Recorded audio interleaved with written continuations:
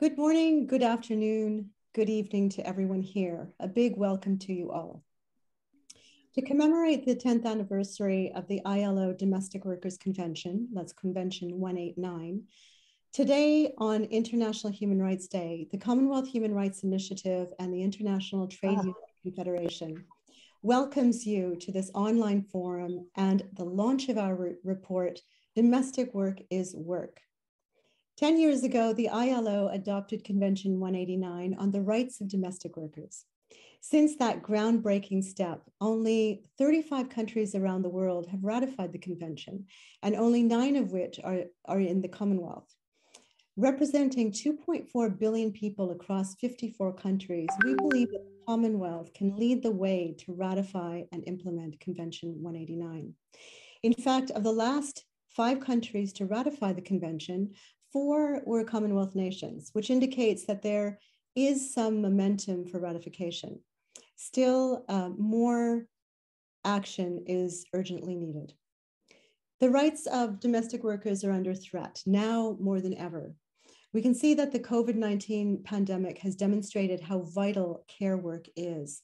Yet, domestic workers, who are mostly women, have been among the hardest hit. The pandemic has impacted the already precarious job security for millions of domestic workers. The pandemic demonstrated their lack of access to social protections and has put domestic workers at greater risk of abuse, exploitation, and trafficking. Given this context, we hope that today's forum will inspire action. We will hear from a range of voices today, from government officials to union leaders and NGO advocates we will hear about the importance and urgency of ratifying and implementing Convention 189. We will learn about the power of strategic grassroots advocacy to bring about essential change for domestic workers. And we will share resources and strategic actions that you can use when promoting the rights of domestic workers in your countries. Now, before we get started, um, a quick introduction. Uh, my name is Sneh Aurora, and I am the director of the Commonwealth Human Rights Initiative, its London office. And a little bit about the Commonwealth Human Rights Initiative for those who may not know us. We are an independent, non governmental organization working towards the practical realization of human rights. Our head office is currently in India with offices in Ghana as well as, as in London. We work on a variety of um, critical human rights issues, access to justice, right to information, media freedoms.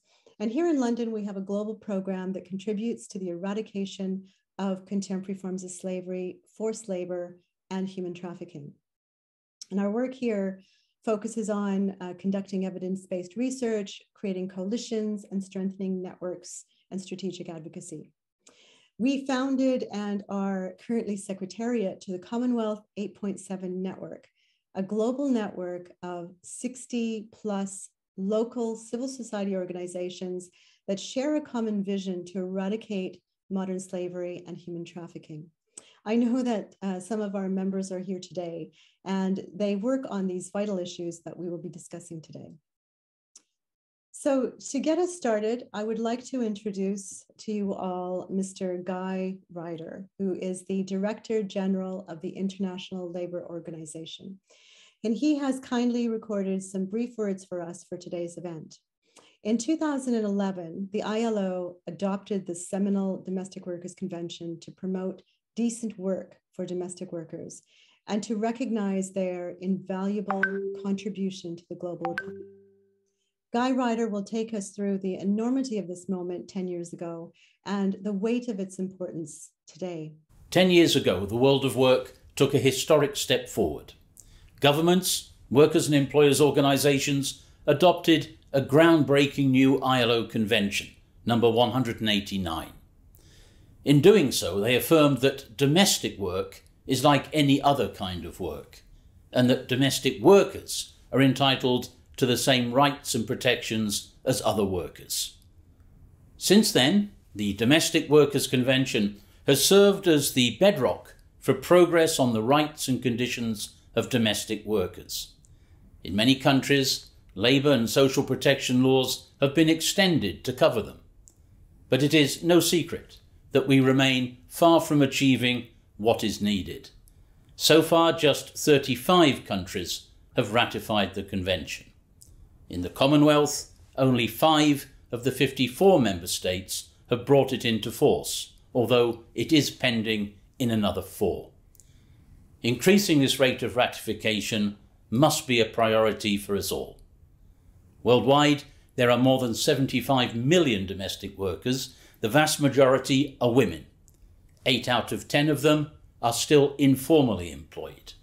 And this is important because informal economy workers are less likely to have job security, social protection, or emergency income support. During the COVID 19 crisis, we know that job losses among domestic workers have, on average, been three times higher than in other sectors. So the impact on domestic workers and their families has been devastating. And there is a particular irony here, because the pandemic has shown us just how important care work is for all of us. Domestic workers are an essential part of the infrastructure that allows households to meet their care needs. In particular, domestic workers help their employers, many of whom are women, to work in the paid labour market. They make a contribution to gender equality that benefits us all. And as populations age, demand for care services is going to grow, meaning that we will need more care workers in the future. So ensuring that these jobs are decent jobs is vital if we are to achieve the goal of decent work for all. Trade unions have made great strides in organising domestic workers despite the challenges of reaching women and men who are often isolated in households and sometimes have limited freedom of movement. During the pandemic, those unions also provided valuable practical support, delivering food and personal protective equipment to their members, including to those who had lost their jobs because of the crisis. But this is not enough. We must do better, and we can. That's why it would be so important for more governments to ratify Convention 189 and to fully implement its provisions. And governments also need to be more ambitious about formalising employment in domestic work. This will help to improve the wages and the working conditions of domestic workers and give them the same core rights as other workers. And in particular, governments must pay more attention to ending child labour in domestic work. This is just one thing that we must do if we are to meet the United Nations global goal of eliminating child labour by 2030. Convention 189 has provisions on this, and progress on formalising the sector will certainly help. Domestic work is work, and domestic workers must have the same rights and protections as all other workers. And this means that as we work to build a human centred recovery from this crisis, we must ensure that domestic workers are not left behind. We'd like to thank Mr. Guy Ryder, who's the Director General of the ILO, for his inspiring words. Convention uh, 189 is, in fact, a bedrock for domestic workers' rights and is absolutely essential that its provisions are implemented globally if we are to ensure domestic work is treated, treated the same as work in other sectors. Uh, very quickly, I wish to point out that since the video was, was, recorded, we have the fabulous news that Namibia has now brought the convention into force. In fact, this happened in the last day, which means that six Commonwealth countries have brought Convention 189 into force in their countries, and only three uh, remain, three that have ratified have yet to bring the convention into force. Now we will get started with our panel. Our esteemed guests today represent a range of countries from around the globe. From nations that show some indication of being on the brink of ratification, like Uganda and the UK, to countries where Convention 189 has already been ratified, such as South Africa and Jamaica. Our speakers also represent a range of stakeholders, government, unions, NGOs, which underlines that human rights protection undoubtedly requires a multi-sectoral approach. We will hear from our speakers on both the successes and challenges they have experienced in the process of ratifying and implementing Convention 189, and will suggest a path forward for action. My co-moderator today, who will uh, lead us on in this uh, with the panel discussion, is uh, Marie Marieke Koning, Policy Advisor at the International Trade Union Confederation. Marieke is an expert on gender equality policies, programs, and campaigns, and she was the secretary of the workers group when ILO Convention 189 and the Recommendation 201 were negotiated and adopted in 2012. I'd like to turn the floor over to Marieke and invite you to share your views on the importance of the Domestic Workers Convention and also to introduce our esteemed panelists. Thank you.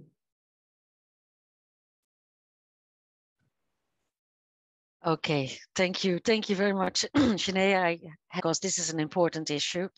And uh, as Guy Ryder actually importantly stated, uh, domestic work is work. And uh, this is exactly the reason why ILO Convention 189 and ILO Recommendation 201 are of critical importance.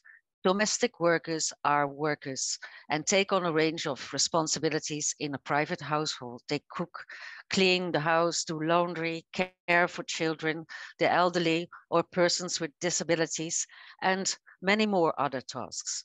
However, their work is not valued and recognized in law since their work is considered as work traditionally performed by women. And since the majority of domestic workers are women and belonging to marginalized groups, these ILO standards are a critical step to, to advance gender equality in the world of work and ensure women's equal rights and protections under the law and advance the care economy agenda to ensure decent care jobs and the creation of millions of care jobs. The adoption, as Guy Ryder pointed out very well, um, the adoption of ILO Convention 189 and, 200, and Recommendation 206 are truly historical. They form a strong recognition of the economic and social value of domestic work, the rights they should enjoy in law and practice, and include critical measures to limit and eliminate their abusive and exploitative working conditions. ILO Convention 189 is a binding instrument. This means when governments ratify the convention, they need to align their laws and policies accordingly. And the ILO recommendation 201 is a non-binding instrument. However, it builds on the provisions of the convention and is therefore a very important tool to ensure the effective implementation of ILO Convention 189. The instruments provide a floor on the minimum minimum rights and protections domestic workers should enjoy. They recognize, for instance, the employment re relationship, whether they work on a part-time basis or work for multiple uh, employers. They cover living um, domestic workers and migrant domestic workers. And um, those are often the ones most at risk to be trapped in precarious and abusive employment. And the employer can be a member of the household, but it can also be a recruitment agency that employs domestic workers and makes them available to a household. So the rights of domestic workers, yeah, include uh, the right to a minimum wage, uh, social protection, um, the right to have a contract, and uh, to regulate their uh, working hours. And very important when um, and I still remember the day of the adoption of uh, ILO Convention 189, um, that the right of, for, of one day off for domestic workers was secured, as well other um, regulations um, of, of working time. So this was a big win as well. And it also includes protections from abusive practices by private employment agencies and um, measures for occupational health and safety. It addresses the elimination of forced labor and the effective abolition of child labor, uh, child domestic labor. And last but not, but not least, and it's not inclusive, but very important to point out, it also includes the right to freedom of association and collective bargaining, which are key for domestic workers to join and form a trade union to bargain collectively for improved wages and decent working conditions. So Convention 189 and Recommendation 201 were made by domestic workers, by the power of the domestic workers movement. They lobbied and campaigned vigorously to secure its adoption 10 years ago, followed by a collective call and global campaign for the wide ratification of ILO Convention 189.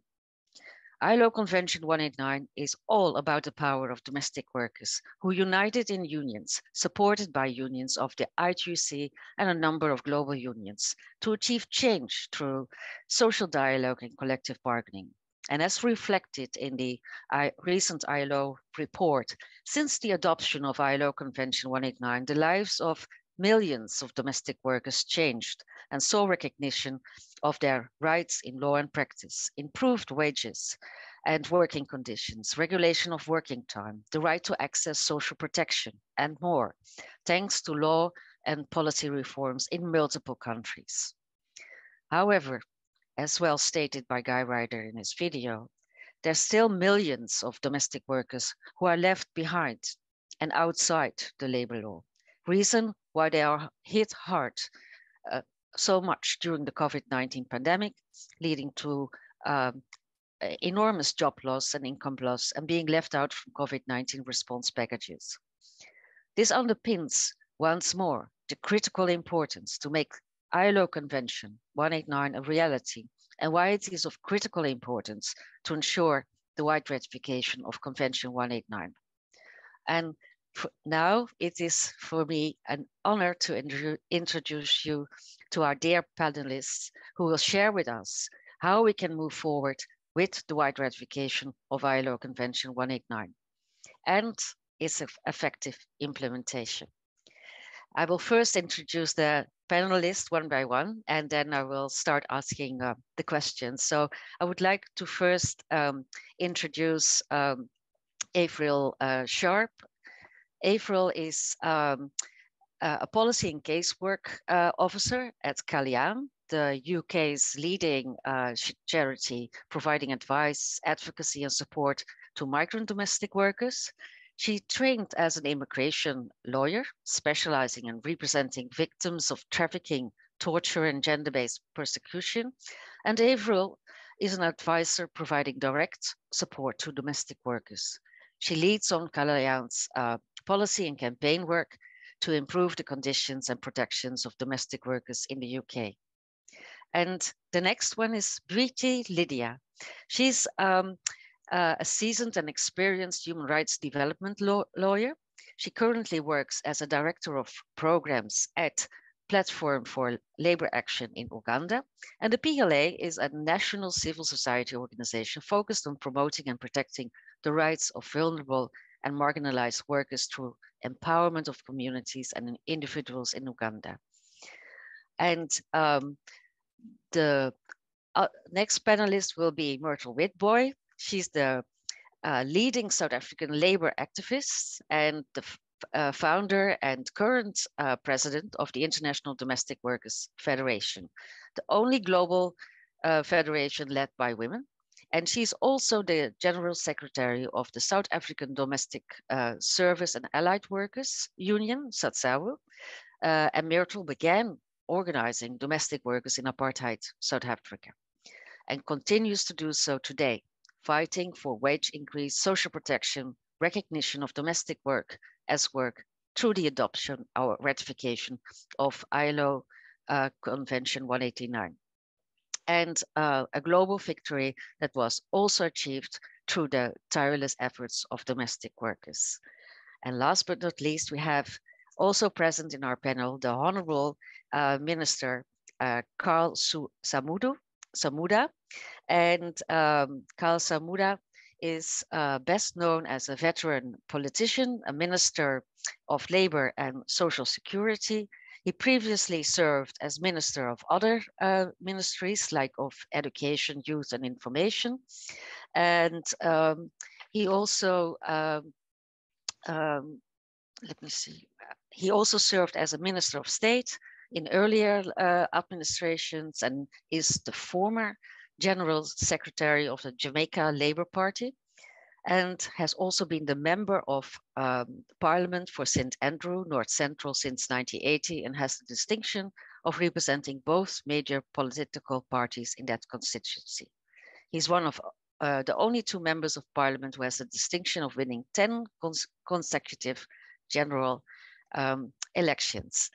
So, um, uh, Minister, um, we have really the honor that you uh, are present here during this panel. So I would like to ask you um, one of the first questions um, during this panel.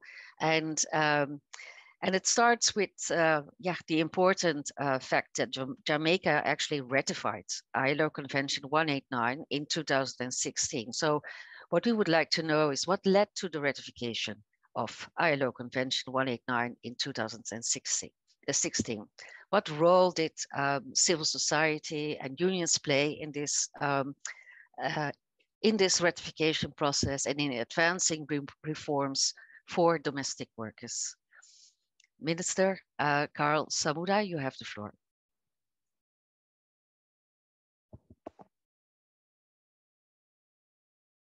You have to turn on your sound and video. Do you hear me?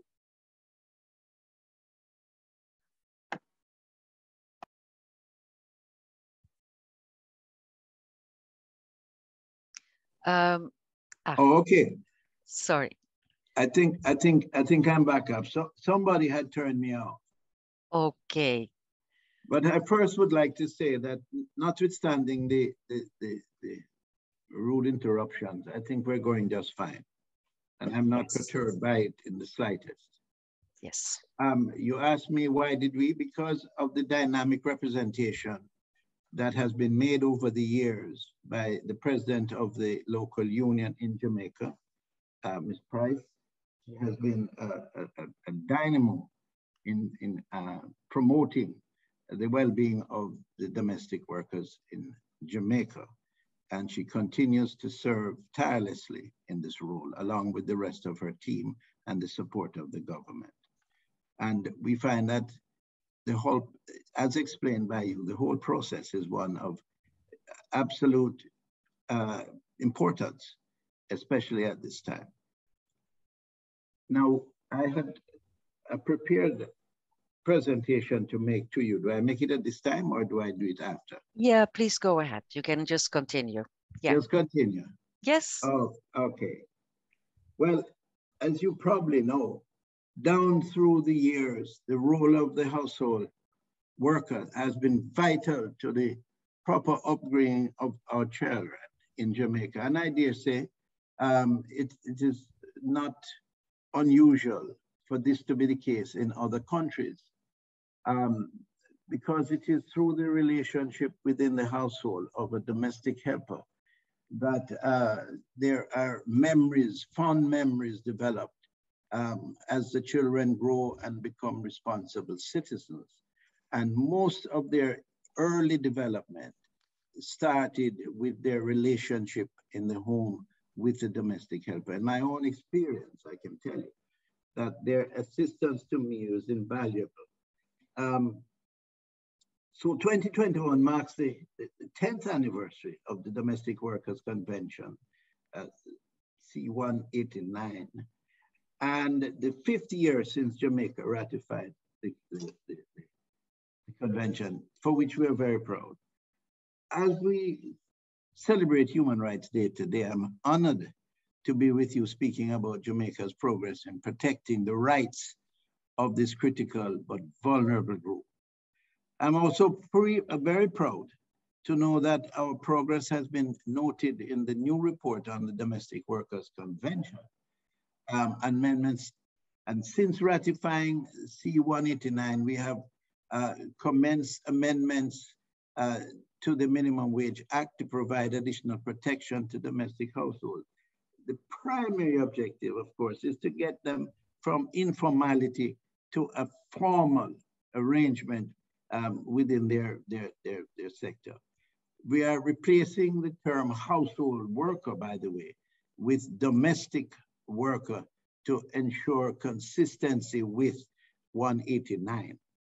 We require all employers to keep a record of the terms and conditions of employment, and these the will this will include name and address of employer and worker, the start date of uh, the contract and employment, the wages to be paid, the statutory deductions, which of course everyone will have to pay because that's part of being a responsible member of an organization. Um, leave entitlement, this, you know, has been so informal that it's a matter of when it's convenient for the employer without regard sometimes for the convenience to the worker. This provides greater protection for domestic workers in the events uh, also of disputes. Um, we are mandating that employers pay domestic workers at regular intervals. Employers will also be mandated to provide workers with pay slips clearly outlining their statutory obligations. Um, and that is a part of, of making it the, the, the level, bringing to it the level of formalization that is required. We are looking at um, the passing of legislation to introduce national insurance. Um, this is a scheme by deductions to ensure that workers have access to social protection upon their retirement. Many uh, persons who fall into this category of employment are, are, are usually, or I wouldn't say usually as much now as in the past, but in the past they were just simply discarded, um, used, uh, abused, and discarded. This um, we have brought by and large uh, to an end, and we are moving from here now to make them a very respected and responsible group that we will uh, treat in, in the same way that we treat other workers in, in vital uh, areas of employment. This um, is often deducted by employers, as I said, and uh, not paid, leaving workers without the benefit of recourse. It's one thing to have a provision for it, a deduction to be made, but it must be made with a purpose. And it must be made with a level of protection that if not complied with, then there is recourse. Um, we are also amending the employment agency regulations, mandating that domestic workers uh, who are recruited and placed in jobs overseas by agencies are provided with written job offers or contracts um, of or contacts rather um, and contracts of employment um, and personnel prior to their departure. They cannot just be going off in the hope that uh, when they arrive, they will, the conditions of employment will be satisfactory and, and they have all the information they need. By the way, I might just, uh, if I'm allowed, I don't know if I have time, but I will just tell you that this is not a new subject for me because while at university, I was part of the, uh, I won't call the name of the country where I went to university, but it's in North America. And I was part of a group of us who sought to protect the interests of our domestic workers at that period that were brought to uh, that country and uh, in many instances were abused. And um, so we, we, we sought out to protect them in, in, in as much as, as we could by bringing the situation to public attention. So as I say, this is not a new subject for me. And it's, I, I come to the subject with great passion and commitment. Um, workers should also be in possession of their passports and other documents at all times as protection against the likelihood of human trafficking. Um, we have a strong relationship with, the, with, with, our, with our union in, in ensuring that they comply with all the requirements that will give them protection and will bring them respect um, our president, Mrs. Ms. Pryce, is, is, is in this forum. I understand she's participating later on. She's a dynamo and it's someone who I have a great amount of respect for. She has come a journey in life and she continues tirelessly to give of herself in the interest of this category of worker. Um, they were integral in the ratification of 189. And as I mentioned before, that's the reason why we're uh, we ratified because of the dynamic representation of the group headed by Ms. Pryce. Uh, last year, the Ministry of Labor and Social Security signed an MOU with the union, which will allow domestic workers to seek employment using the ministry's employment database. So we have literally partnered with them in a structured and organized manner, not in a sort of loose here scarum approach, but in a structured approach. Um, through this partnership, the ministry will provide quality job opportunities with proper uh, checks and appropriate due diligence, which is an essential part of this exercise. It will create a safer job seeking mechanism that can be monitored to reduce the likelihood of violations of the relevant labor laws by employers. So often we have labor laws that on paper look very impressive, but at the workplace, it gets abused. And so it's important that we monitor the activities at the workplace and that we are prepared with a, with a, with a formal structure to address these abuses. Uh, this partnership will also contribute to a reduction in the possibility of domestic servitude, uh, particularly against women and girls in our society. For too long, um, women were made to feel in a certain category as if they were lesser beings. What we want to ensure is that there is respect at the workplace and there's respect for the person um, who is uh, carrying out the, the, the, duties at the workplace. And so the ILO transition um, from informality to formality is, is something that is critical to the way forward. Just last week, we launched the ILO's transition from informality to formality action platform uh, for domestic workers and uh, fisher folk in Jamaica.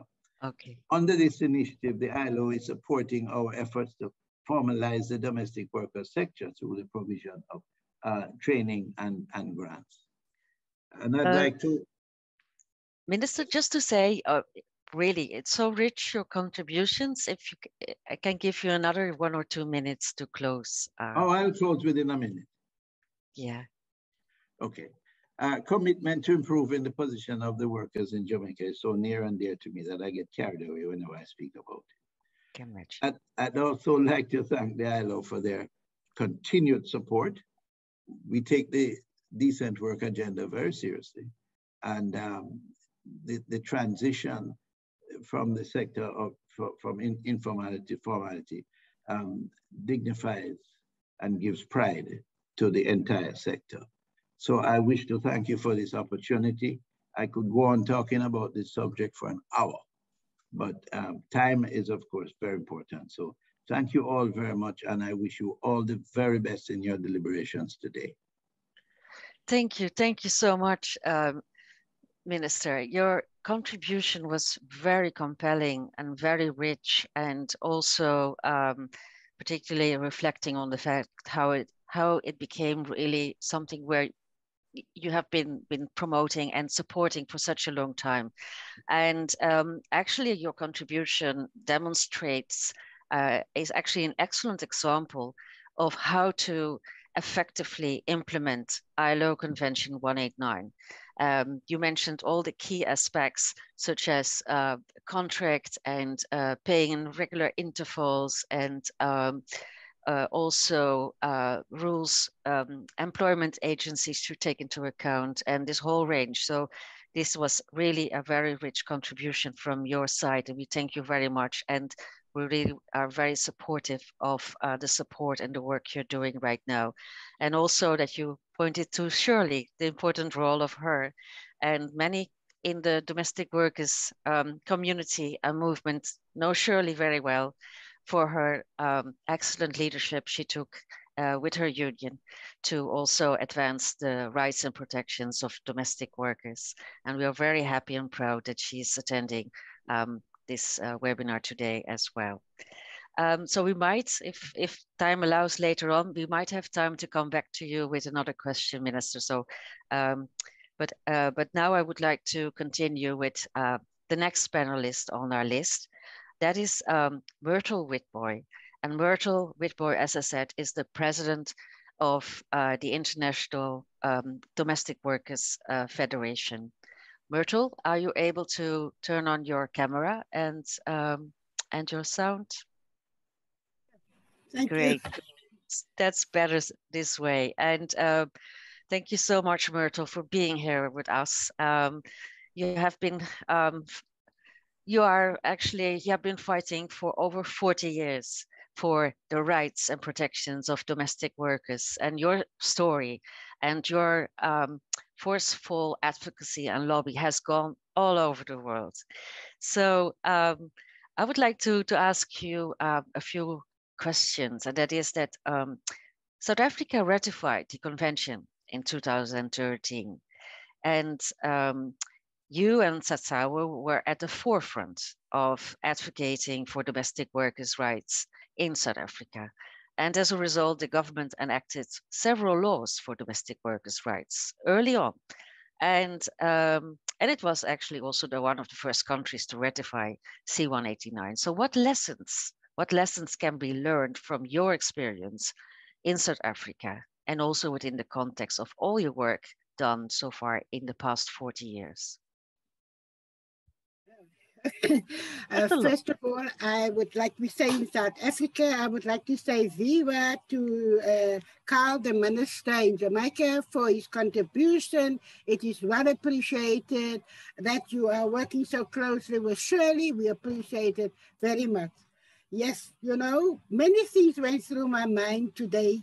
It takes me back to when domestic workers actually take control of the ILO, when we were fighting for our own labor rights, when we were standing up and made our voices be heard.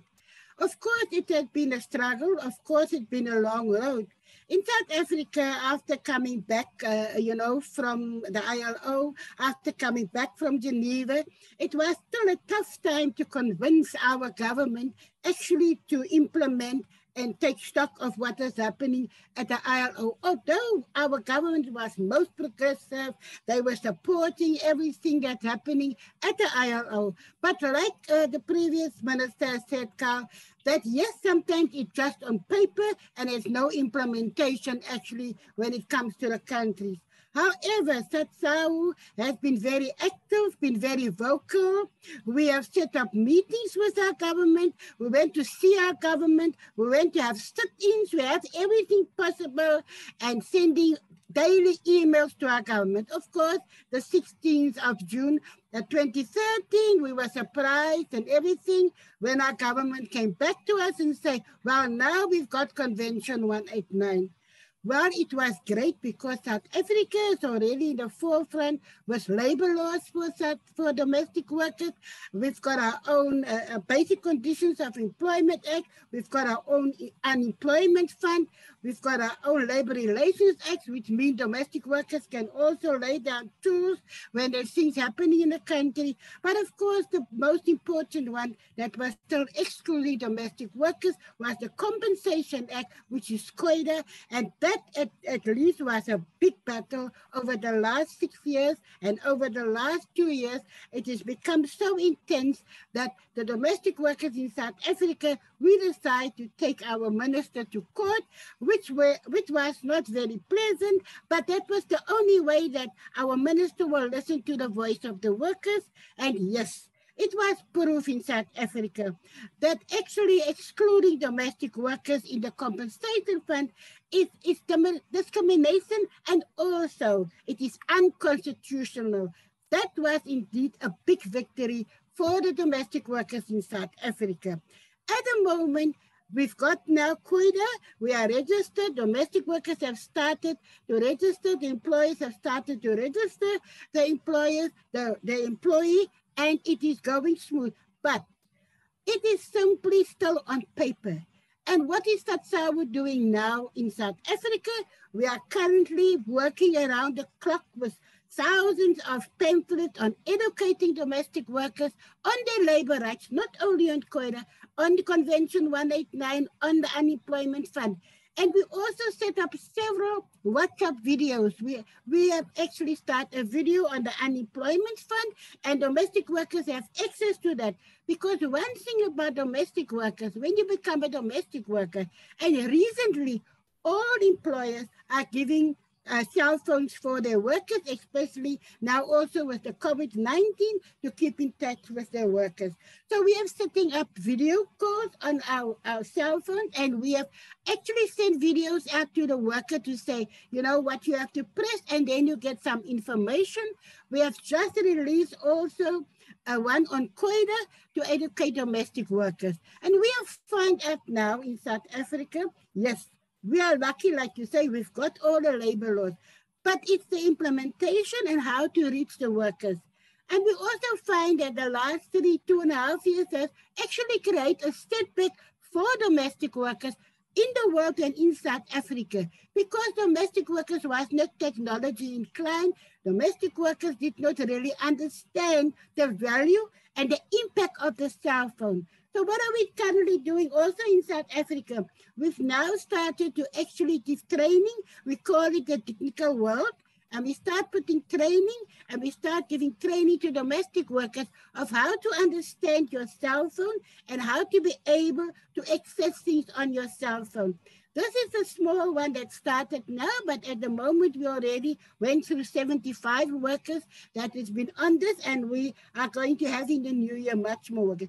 That, in, in actual fact, that is the only way we are now going to be able to reach domestic workers. We have to start preparing ourselves in South Africa and we have to start preparing ourselves in the world of the new world of COVID-19 and how we won't let domestic workers miss out on what is there for them. So this is a very new challenge we are facing in South Africa, but we are also facing it in the world.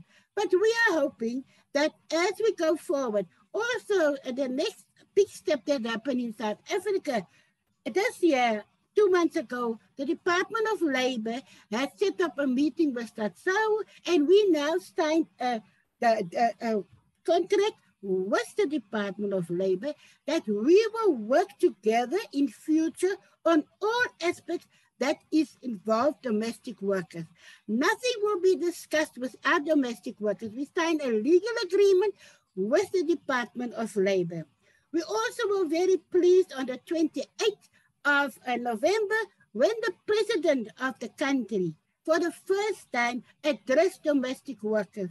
And at that um, addressing, the president assured domestic workers that many more inspectors will be employed now for the domestic sector, and the inspectors will work closely with SADSAWU and with us when they go to households. They will let SADSAWU accompany them. That is also one step forward. The next step that the president also said, currently in South Africa, domestic workers earn slightly less than the national minimum wage. Now the president has also put that on the table that domestic workers will now earn a living wage, the same wage act as from the end of January.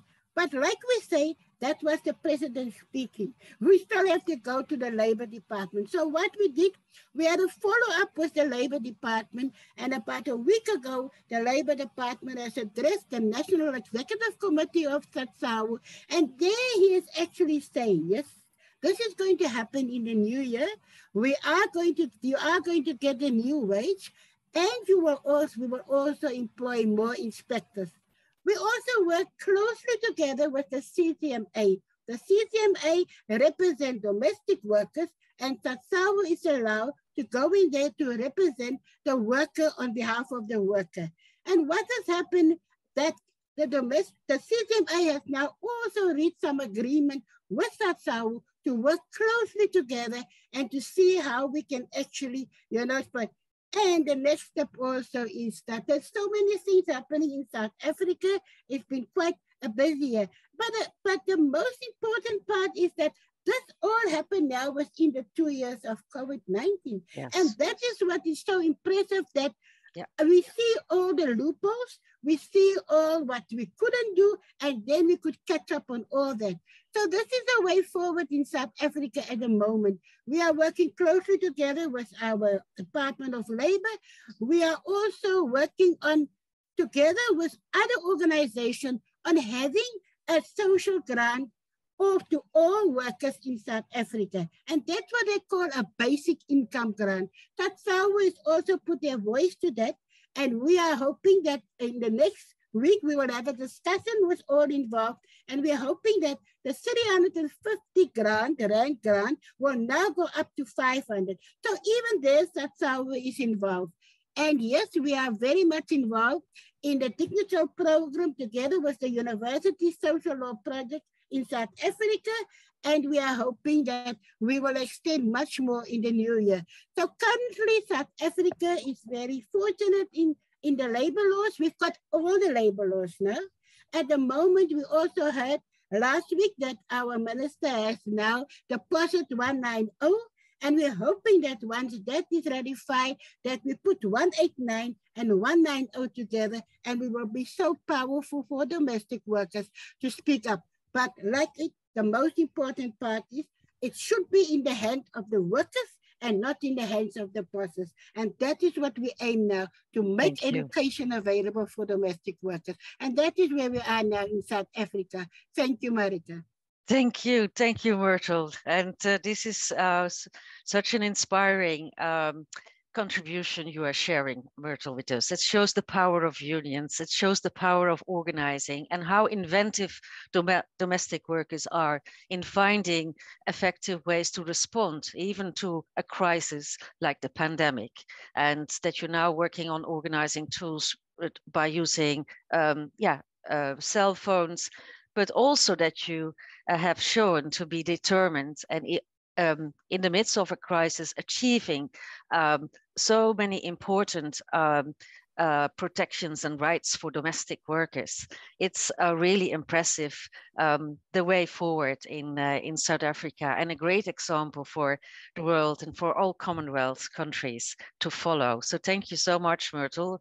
Uh, when time allows, I will get back to you as well for for a last question. But thank you, thank you so much for your very rich um, contribution.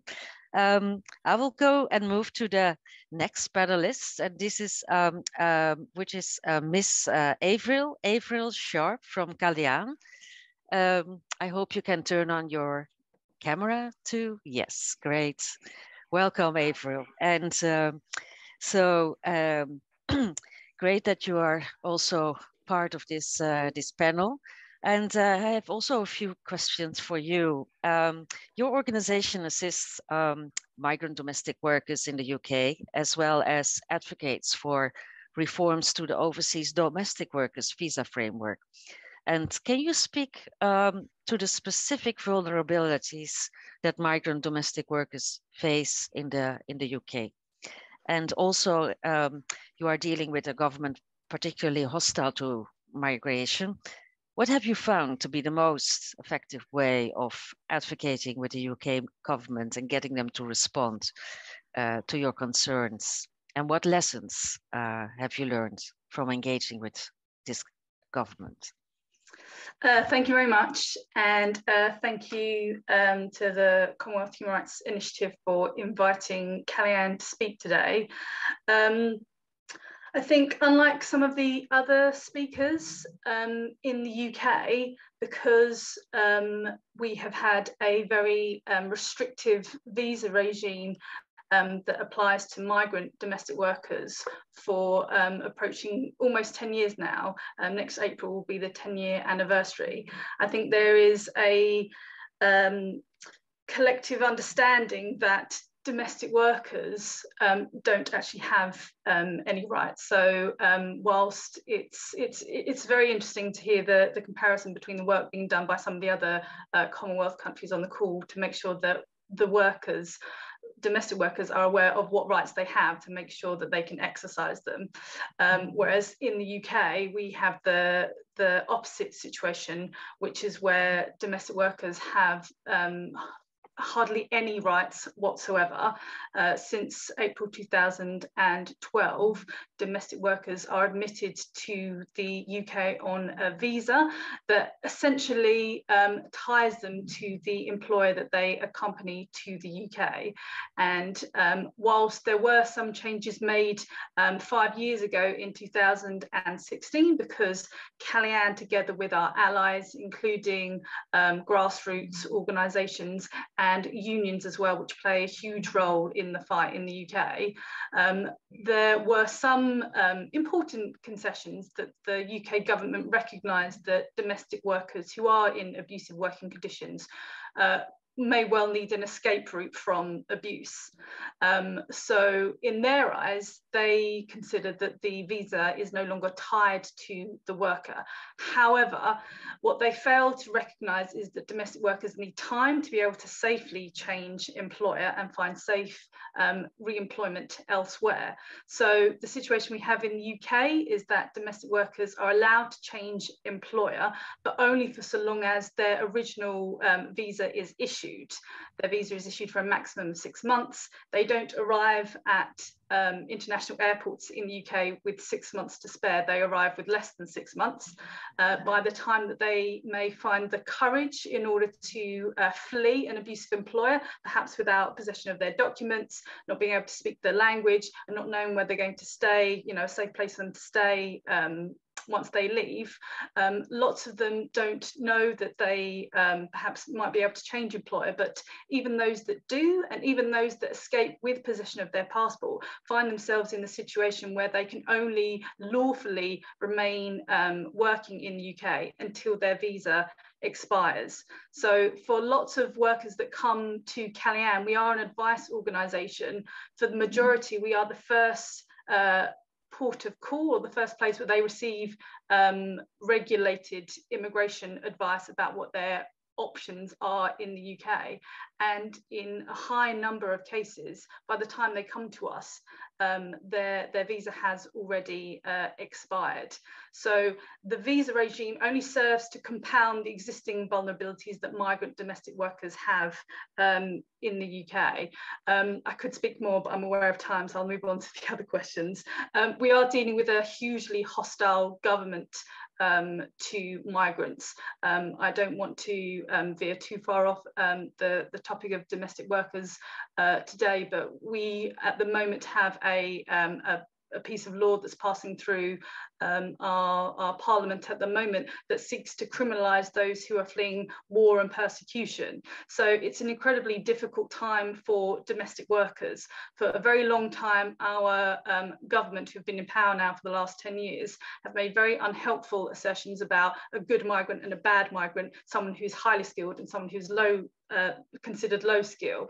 At Kalayaan, we say that domestic work is highly skilled work, it's multi-skilled work. These workers do incredibly vulnerable, important work without which we wouldn't be able to function as a country. Um, I think the pandemic has, in a lot of cases, helped us demonstrate that. Um, I know of workers who are employed by NHS workers who, without a domestic worker working for them, would not be able to go out and, um, you know, battle on the on the front line in terms of coronavirus without their domestic worker uh, working for them back in their in their house. Um, in terms of lessons, I'm still learning all the time. Um, that's why um, uh, events like this are hugely important for us to be able to learn from our um, international colleagues. I think um, one of the, the bigger things that I have um, learned in my time at uh, Kalayaan is that, um, and this applies to um, uh, the ratification of Convention 189 and the government's continued stance on not reinstating um, the visa for domestic workers um, prior to 2012, which gave them certain basic fundamental rights, which meant that they could challenge abuse when it arose. Um, lots of the reasons that we are given by the government essentially don't stand up to scrutiny. They are not borne out by um, facts or by law or by logic. So um, a lot of our time is trying to um, strike through those reasons and explain to our supporters um, why they don't stand up to scrutiny um, because I think um, there have been a number of instances over the last few years where we have seen in the UK that there is huge amounts of um, solidarity and strength and compassion with migrant populations. Um, so um, part of our role at Kalayaan, we see it as very important as educating the public about the um, the mistruths that the government continue to push forward as reasons not to reinstate uh, rights for domestic workers. So um, in short, it is an ongoing um, battle in the UK, but one we have no intention of losing. Um, we have a number of, I'm aware that there are a number of people on the call from the UK um, and others who um, continue to work with Kalayaan and um, a group of allies to make sure that we won't stop until domestic workers have their rights returned to them. Thank you very much and happy Human Rights Day. Thank you so much, uh, for your um, as well very important contribution, which um, particularly highlights um, all the um, challenges migrant domestic workers are facing in particular, particularly when they are not aware of their rights. And hopefully, uh, I hope that this webinar and the report being published and uh, the work and follow up after this webinar will be a good um, uh, yeah moment to maybe reinforce again the call to uh, for the ratification and effective implementation of ILO Convention 189. And uh, I know there are many uh, in the UK out there active. I see also some have joined us uh, during this webinar. So I wish you all, um, you know, a lot of support and, uh, and solidarity in your work to move this forward so that all that all domestic workers, including migrant domestic workers, have all the rights they should enjoy as any other workers. So thank you very much, April. And um, I will go, uh, maybe I might go back later on, but I will now go to the, the last, um, but not least, speaker on the panel, and that is um, Miss uh, Buiti Lydia. Uh, and she is um, from the uh, PLA in Uganda. So I hope that you can turn on your camera and, uh, and your sound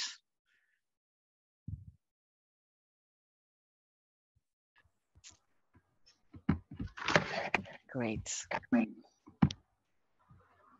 Okay. Great. Right. Uh, That's you. great. Thank you. And uh, yeah, it's also an honor to have you here with us, uh, Lydia, um, during this panel. So we also have a few important questions to ask to you. Um, Uganda is actually uh, close to um, ratifying ILO Convention 189, and the government is working with your organization and others to determine the extent of reforms needed to ensure compliance with ILO Convention 189. And would, um, it would be great if you could share how this process is going. And um, also, if you think that you believe that Ugandan government will follow through with its commitment to ratify ILO Convention 189. Um, and uh, so what your views or your take on, on that is uh, from your perspective. And what are the next steps you have in, in place to um, ensure the ratification of the convention? You have the floor, Betty, Lydia. Uh, thank you so much. Uh, I want to congratulate the previous speakers. Um, they are more in a more, I think, lucky position than Uganda with regard to uh, legal protection of domestic workers. Uh, but like you noted, the government of Uganda, uh, since 2000, 2000, 2020, 2020, um, kickstarted the process of uh, ratification. And of course, this particular process was as a result of uh, uh, endless and continuous um, advocacy engagement with the government and trying to uh, create consensus and, uh, and appreciation of the need to, uh, first of all, uh, recognize domestic workers' work within uh, the legal framework of the country. Although when you look at generally the legal framework of the country, uh, there is it has a generic application, application to all workers But of course, there are those uh, provisions of the laws, especially in the Employment Act, where uh, you find that domestic workers, actually we don't refer to them as domestic workers in the law, they are referred to as uh, domestic servants, uh, which ideally, you know, already makes them, you know, a servant of someone. Uh, mm-hmm. some sort of like servitude and everything. So because of that advocacy, continuous advocacy, of course, uh, by platform for labor action, but also other uh, organizations that uh, uh, labor unions coming on board, but also even the domestic workers themselves. Now that you have been able to work with them to try to organize, so they are able to self-influence on this particular issue. So in 2020, the government kick-started the process. Of course, this process has, um, I may say, it has been an inclusive one for starters. At least we are seeing a tripartite uh, process plus CSO uh, process uh, because sometimes uh, the tripartite process uh, locks out certain um, stakeholders in the ongoing process around ratification. But this particular process has uh, actually had to expand and add on uh, stakeholders to come on board. And uh, the, um, the Solicitor General was able to give um, a clearance uh, to the Ministry of Gender, Labour and Social Development to go ahead and uh, kickstart the process of ratifying because this kickstarted with the cabinet memo, which had to be approved and through the justifications why the need to ratify this particular convention. So with that clearance, uh, we've set the process. And also I, I, must note that now we have the national uh, sort of like working group that is working on the process of uh, ratification. So that is sort of like the indicator. But ideally also maybe to add, of course, when you asked me and say, uh, are we sure that the government will come through with this particular commitment? Because I know that in 2016, the government of Uganda actually committed uh, during the, the Universal Periodic Review to, to ratifying this particular convention. But of course, by the time of our next peer review, again, uh, we hadn't yet ratified. So even as we're wondering, okay, did the process start in 2020 because of the upcoming peer review uh, or is actually a genuine one? But we can also look at the other indicators that actually showing us that um, indeed, as a government, I think following the, the research and the advocacy, um, all those efforts, I think the government feels uh, that it is the high time to protect such categories of workers. But I also want to give just a quick background why the government at this point in time we feel that it will come through. One, uh, as you may aware, uh, Uganda, we are exporting labor uh, mostly to the Gulf countries. And majority of the people who are going in these countries are actually going to work as domestic workers. So, and of course, there have been issues around that particular area where people are reporting uh, uh, instances of, um, uh, you know, uh, modern day slavery, uh, trafficking in person, and all that. So because of the pressure that is coming with that particular aspect, it also, I think, makes the government to be ready to want to have this commitment made at the international level. The other aspect that we have seen, or the indicator that we see, or we want to link on that actually the government is committing in terms of ratifying, but also trying to domesticate some of those provisions in the convention uh, back home. Um, again, in 2020, the same year, uh, the government uh, approach platform for the action that we work on the regulation, uh, the employment domestic workers regulation at 2020. And what we did at that point in time, uh, I being the, the lead counsel on that particular project, were able to ensure that the provisions of the regulations actually mirror the provisions of the ILO Convention number 189. So that particular, those particular regulations having been initiated by the government itself and the fact that they are carrying them forward, the discussions, they are going through the different stages. I think for me, that is a very good indicator that sure the government will come through. Yes. Uh, and maybe just on the other part where you, um, what next ideally, uh, what next uh, for us to ensure ratification? Uh, because we sit on the national, on, on national working group,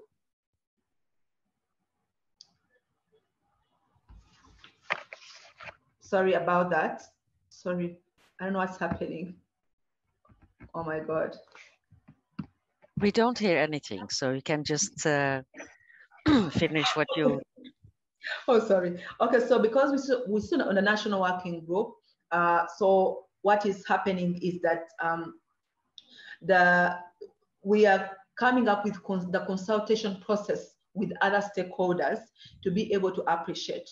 One thing we must uh, note is that uh, we've just come out of the general election, and therefore we have a new legislature arm, arm of government, but also uh, a somewhat new executive arm of government.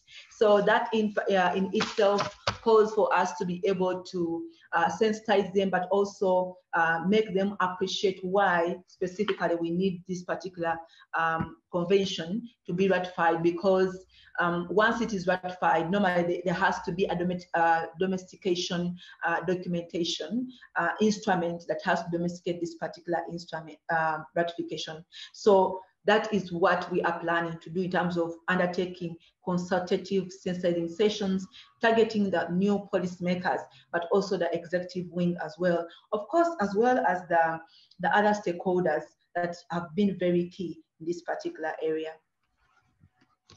Thank you. Thank you so much, uh, uh, uh, Lydia, for your uh, for your contributions and uh, knowing that uh, yeah, it it that you you're coming close there now after a lot of efforts and and and determination to bring the government closer to uh, make C189 a reality for domestic workers, which is of so key importance.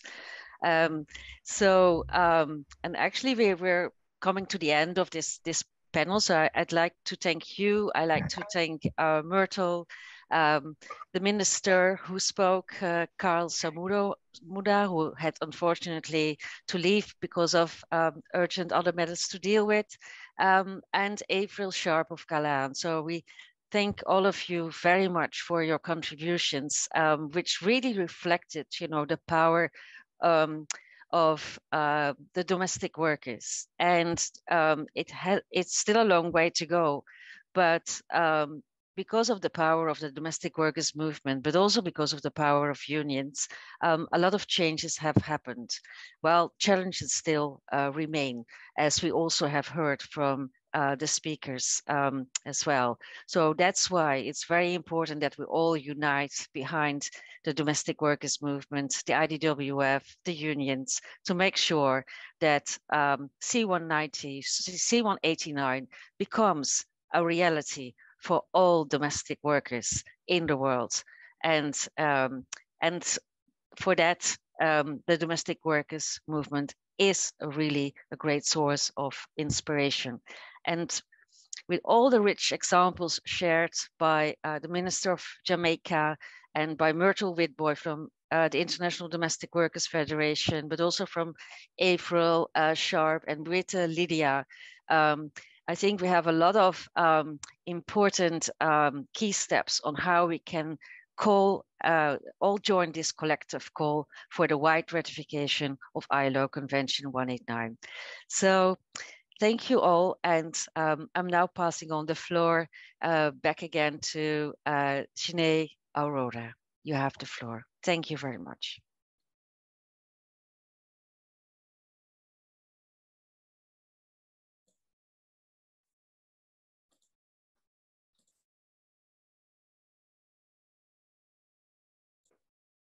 Thank you, Marieke. I'm not able to start my video though yet. Just one second, just a technical issue.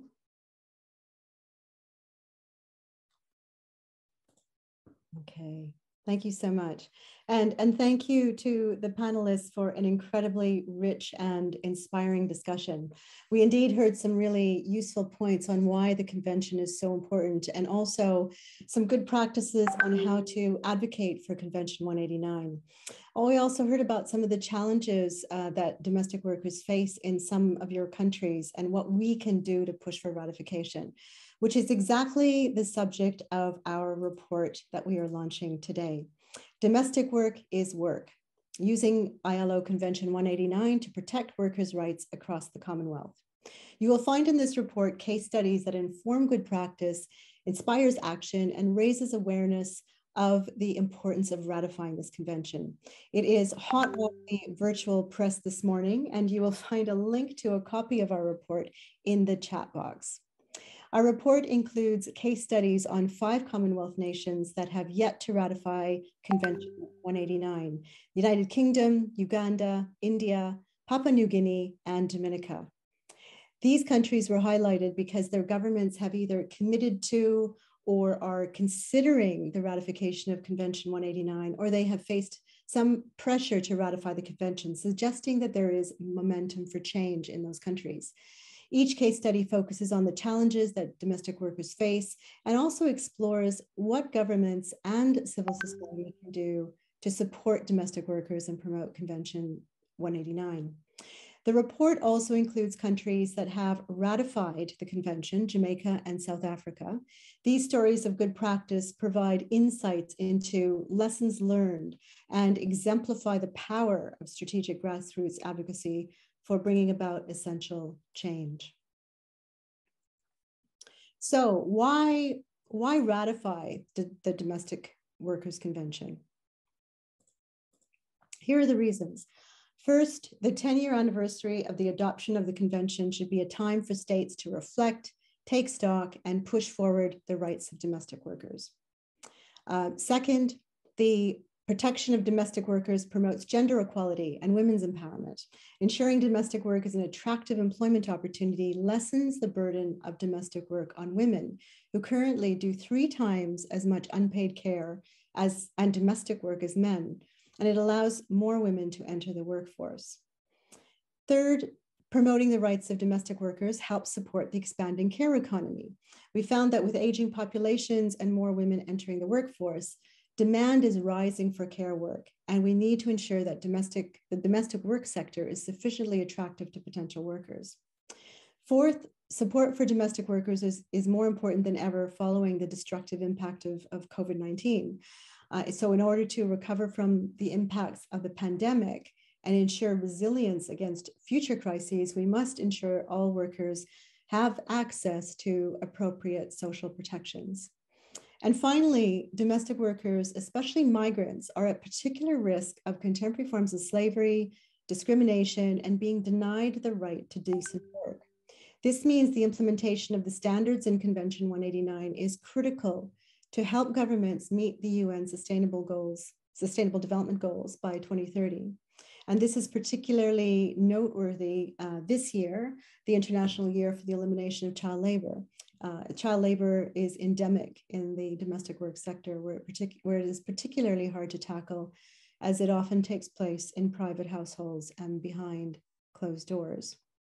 So, what can we do? Our report summarizes a few key actions that advocates have taken and can take to support domestic workers in their communities, but also in, to encourage their governments to ratify and implement the convention. First and foremost, it's vital to collaborate with domestic workers and organizations led by domestic workers in order to inform advocacy that is responsive and relevant. Uh, these organizations, of course, include trade unions. In, in order to ensure that our work is tailored to the realities of domestic workers, advocates must consult with them at every stage of the process. Second, we have heard some good ideas on how to engage decision makers in the push for the ratification and implementation of Convention 189. If appropriate in your countries, these can be done through parliamentary questions, private or public letters, or meetings with sympathetic government officials or parliamentarians who can be encouraged to raise the convention and the rights of domestic workers on their platforms. Next, we recommend the use of key dates as opportunities to strategically advocate and campaign for the ratification and implementation of the convention and the rights of domestic workers. For example, we are launching this report and bringing everyone together here today on Human Rights Day. Dates like this signify moments of collective action where organizations and individuals globally can rally around a single issue. In our report, we include a list of, of dates that are particularly relevant for collective action around domestic workers' rights. Next, we call on everyone to promote the ratification of Convention 189 and the implementation of its provisions through public awareness, education, and campaigns. For the government to recognize domestic work as work that warrants inclusion in all labor laws and social safety protections, uh, it, needs some, it needs to be sensitized accordingly, and also the wider public needs to be sensitized. Fifth, we suggest advocates also promote the right to information. Uh, we know that right to information legislation, where it does exist, obliges public institutions to ensure certain information about activities are accessible to the public, including civil society. Access to official records and data can inform evidence-based interventions and strategic advocacy efforts. Uh, six, and our speakers have confirmed this, that it is effective when we act collectively. To join international and regional, even national civil society coalitions to raise awareness, amplify, and advocate national issues at international and regional fora is very important. Uh, we all know that coalitions can enlarge audiences, but also amplify civil society voice. And in our report, we have a list of coalitions and networks in uh, that you can reach out to um, in our report, and they can um, and they include several representatives from today's online forum, including the um, the IW uh, I, so IDWF and the Commonwealth 8.7 network. Um, seven, we urge supports to services and capacity building for domestic workers. So domestic workers, especially um, migrant workers, are often overlooked by agencies or organizations that provide aid, shelters, and emergency care. And so support should go beyond immediate needs in terms of crisis to also help and support domestic workers to thrive in the long term, building their capacity to advocate for their own needs. And finally, we recommend raising concerns with human rights experts and mechanisms uh, such as the United Nations Human Rights Council, including the special rapporteurs, Universal Periodic Review process, also the High Level Political Forum on Sustainable Development, which monitors the achievement of the SDGs. Regional bodies also have experts who can comment uh, on human rights violations or respond to complaints. So these are just some of the actions that we can take now we need diverse voices and powerful coalitions to rise up, push for change, and hold our states to account. We hope that our report can be a resource to all of you in this endeavor. Again, you will find a link to our new report, Domestic Work is Work, in the chat box. Just trying to turn on my video here to make final remarks. There you go. So before I turn to um, closing remarks, uh, I just wanted to apologize again for the extremely rude and disrespectful, disrespectful interruption to our debate earlier. I agree with the Minister uh, in, of Jamaica and, and Myrtle and other panelists we are not perturbed nor intimidated by those that wish to derail our efforts. Indeed, we will continue to go on in our struggles with passion and commitment in our work to protect the human rights of all. So thank you all for your understanding and continued support in this, uh, in this time. Thank you again, and I will now turn uh, the floor over to Owen Tudor, the Deputy General Secretary of the International Trade Union Confederation for some final words.